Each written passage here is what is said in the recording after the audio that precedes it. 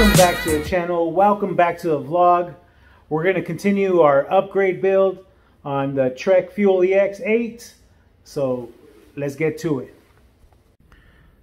So this is our Fuel EX8 and on the last episode we changed the pedals, put a graphic kit, the valve caps and uh, new grips.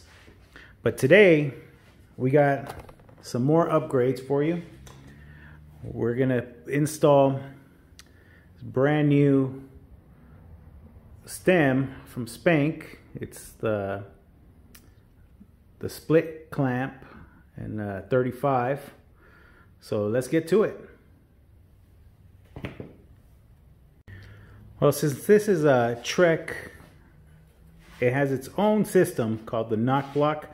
And what it does, it stops the bars from going all the way around uh, with this system here. If I can zoom in on it, see the knock block.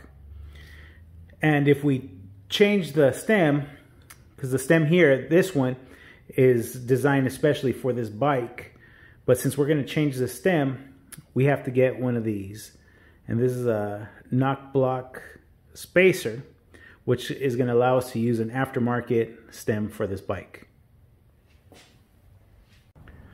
So first thing we need to do is take this uh, top cap up here.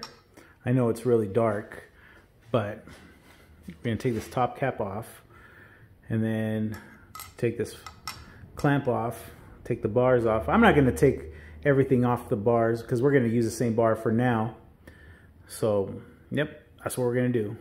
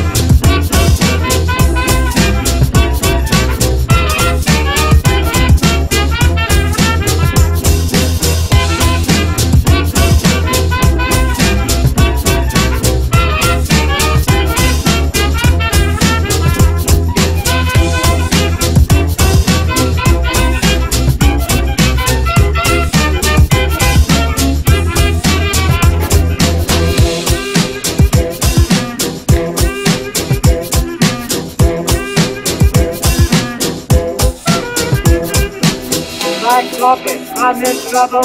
Black carpet, I see trouble. Man, man, man, man, I'm not gonna get home.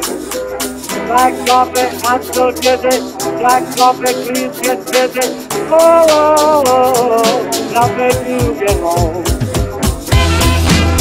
Black carpet, I'm in trouble. I'm so dizzy. Please get busy. I'm not gonna get home.